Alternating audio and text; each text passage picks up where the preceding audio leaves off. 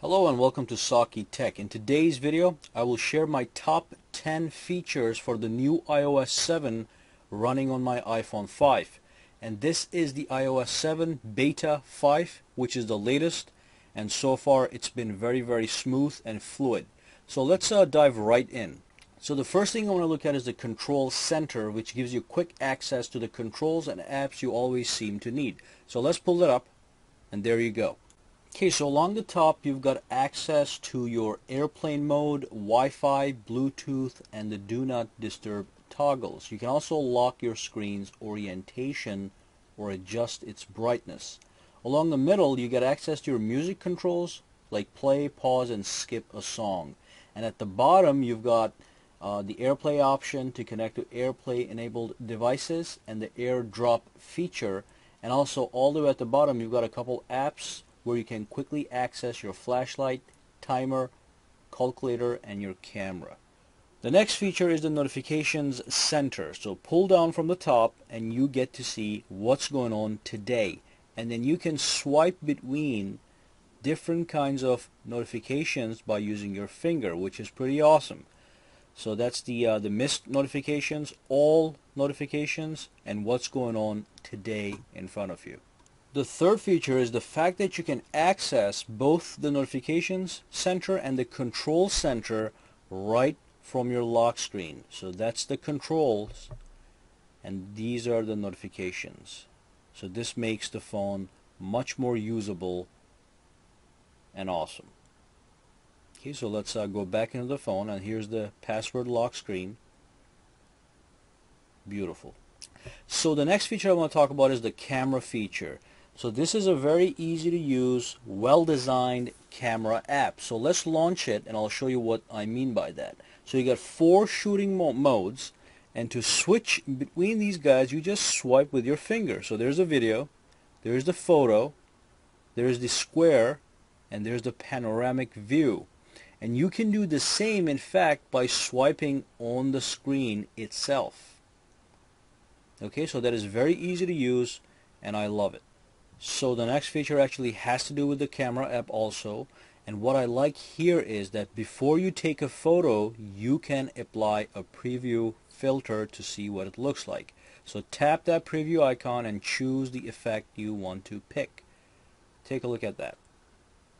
Okay, so before you take a picture, you can preview how it's going to look like. Okay, go back to normal. So that is actually a very usable feature once more. The next one is the subtle feature that they added. It is auto updating the apps. So you don't have to sit down and update apps all the time. They get automatically updated. It tells you when they were updated and what kind of um, updates were applied. You can go and you can go into the details of each app. But finally, you don't have to worry about updating the apps all the time. It just happens in the background when you're not using the phone. Now let's say you do have a lock screen and somebody swipes down your notifications tab. They can actually go inside and see some private information. You can actually disable this and I like that fact. So let's go inside to our phone and then go to settings. Oops, go to settings and then find the settings for the notification center and you can tap notifications view in the lock screen to be off. So let's turn this off and on. And now pull it down. All you see is today. You're not going to see what was missed, who texted you, and all kinds of private information. Okay, so this is a very nice little um, option. And then comes the AirDrop feature. You can share pictures and, and video files using AirDrop. You don't have to text message anymore. You don't have to email stuff. So you pull your uh, command center up and there's the airdrop feature. You can make sure that you're visible to everybody or your contacts only. So how does it work? Let's say I want to send a picture. So let's pick a picture and press that share button and in the AirPlay option if there's anybody close by to you that is using the same feature they are going to pop up and my iPad just popped up. So if I tap that my iPad is going to get a notification which I'm going to go and accept and after I click accept uh, it's going to send the picture directly to the iPad. In fact, you can see that happening on my iPhone 5. Okay, and then let's get out. So this is an amazing little feature that makes sharing very easy.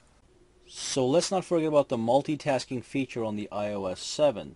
You double tap the home button and all the apps running in the background show as preview screens on a side-to-side -side scrollable list.